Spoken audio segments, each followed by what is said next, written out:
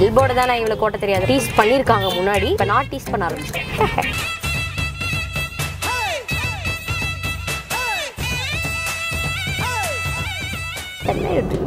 தெரியப்பா எல்லா இடம். நீங்க வந்து ஏமாத்து பசங்க. அப்படின்னு எங்களை நீங்க சொல்லக்கூடாது. மகாபலிபுரம் உங்களுக்காக தான் வந்திருக்கும். ஓகேவா